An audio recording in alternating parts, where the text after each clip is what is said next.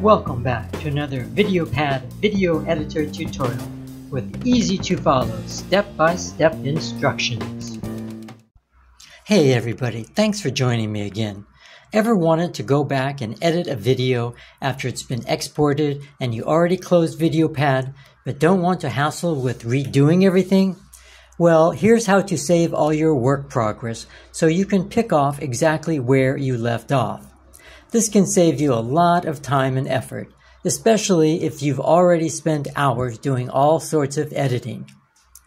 To do this, you can create a VideoPad job file, which has the extension .vpj, and this file is a record of all the editing you've done and all the files you have used. As an example, I've loaded some images onto my timeline, and now I want to save my work. Click on the Save Project icon from the upper left-hand main menu.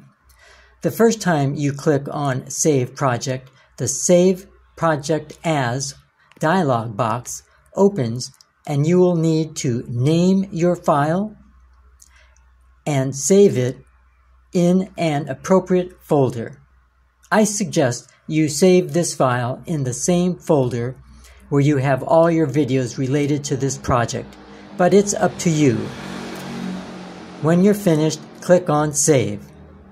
Once you have created your VideoPad job file, to save further editing changes, all you need to do is click Save Project icon again.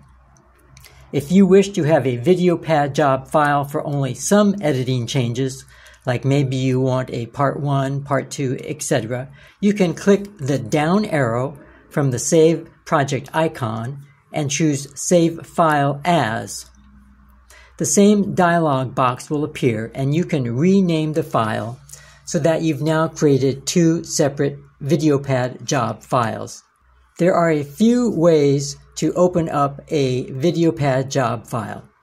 One way is to first load VideoPad and then from the main top menu choose Menu, File, Recent Projects and choose your file. Another path is Menu File Open Project. This will open up your File Explorer and you can choose the .vpj file of your choice.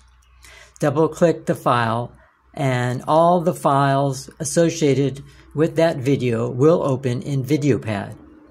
Another option is to directly open your File Explorer program and choose the VPJ file you wish to work on. VPJ files are associated with VideoPad and should open automatically into VideoPad. Warning, for this to work, you must be careful not to rename any file or folder, nor to move any file or folder.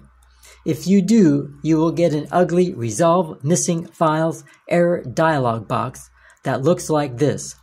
It will identify the name of the missing file, and at this point, if you wish, you can click on the Resolve button and rename the file or files in question back to the exact name as listed in the error message. Note that if you've moved a file or renamed a folder, you will have to change this too. Once you have renamed all the errant files, click on Finish and it will load.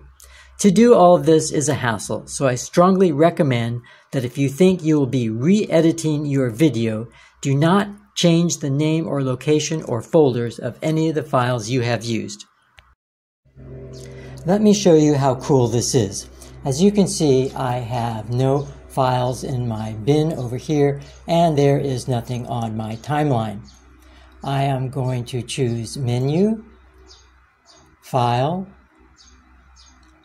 recent project, and here I can find the project that I was working on yesterday. I called it Take 01 VPJ.